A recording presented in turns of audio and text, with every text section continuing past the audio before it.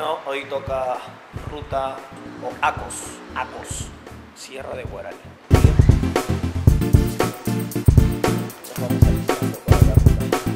Bueno, la ruta, eh, según el GPS, son unas dos, horas y media.